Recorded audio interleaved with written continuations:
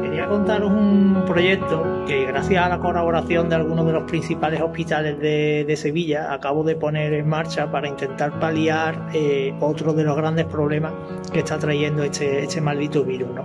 Y es que no sé si os habéis parado a pensar en que todos los días cientos de personas en su mayor parte personas mayores, están totalmente aisladas, sin saber qué va a pasar con ellos, sin saber si hay otros familiares suyos afectados por esta enfermedad. Y lo que es peor, que hoy por hoy ya están muriendo todos los días cientos de personas y mañana quizás miles de personas sin ni siquiera poder despedirse de sus familiares. A mí el simple hecho de pensar esto me, aterroriza. ¿no? Eh, yo personalmente sufrí la desgracia hace seis meses de, de, perder a mi padre de forma totalmente inesperada, de forma repentina, y, a pesar de que yo estaba con él ese día, no tuve la oportunidad de decirle ni siquiera gracias.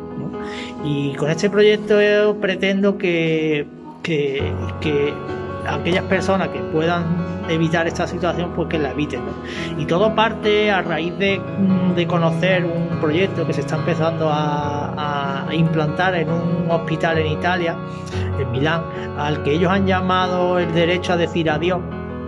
Y, y en base a eso, pues haciendo un poco eh, una similitud con este proyecto, acabo de donar al Hospital Virgen de Rocío varios equipos para realizar videoconferencias, eh, equipos como estos que en los próximos días entregaré a, otros hospitales. Eh, lo que se pretende es que a través del personal sanitario, pues las personas que estén aisladas, pues se puedan comunicar con, con sus familiares, ¿no? Al menos una, una última vez. Eh, yo tengo la esperanza de que sirva para, estas personas que digan adiós, pero que también sirva para los miles de ancianos que, están, que están aislados, que no tienen móviles, que no saben usar un móvil y que aunque están, pueden que estén en planta, ni siquiera necesariamente están en UCI, pero incluso estando en planta, no tienen la posibilidad de comunicarse con, con nadie y no me los quiero imaginar allí solo, ¿no? Con el simple contacto con que del personal sanitario puntualmente porque los pobres no, no dan abasto.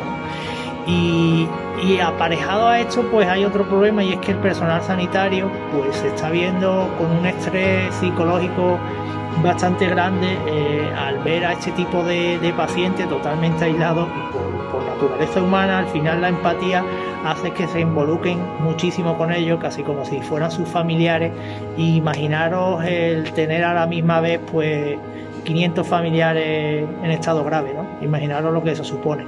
Si ya tienen bastante con las condiciones en las que están trabajando eh, estos sanitarios, eh, las cuales conozco muy bien, porque tanto mi mujer como mi hermana son sanitarios, si además le sumamos este, este estrés, pues la verdad que la situación se agrava bastante. ¿no? Entonces yo soy consciente de que este proyecto pues es diferente en el sentido de que no vamos a conseguir salvar a nadie, no vamos a conseguir eh, que disminuyan el número de infectados, pero sí vamos a conseguir que, que, baje el dolor que provoca esa soledad y sí vamos a conseguir darle el derecho a esas personas que, que por desgracia ya están en una fase terminal de al menos despedirse de, de sus familiares.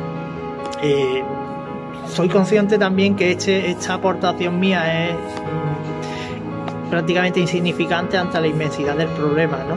Eh, pero más que la aportación económica que yo he hecho, lo que yo quiero, eh, lo que yo persigo es que esta iniciativa sirva de inspiración para que otras otras iniciativas privadas o públicas hagan que esto se extiendan a, todo el a todo el territorio, ¿no? Así que te pido tu ayuda no para mí, sino para esos, esos ancianos que hace poco estaban levantando el país y, que, y a los que hoy no pones cara, pero que mañana podría ser tu vecino, tu padre, tu madre, tu abuelo, y, y que necesita eh, nuestra ayuda. ¿no? Entonces, da igual que sea, mm, sea eh, famoso, que sea un deportista, que sea un cantante, da igual, tú también puedes ayudar eh, ya sea mm, donando una tablet al hospital más cercano, haciendo mascarilla o ayudando en el alquiler a tu, a tu huésped, ¿no?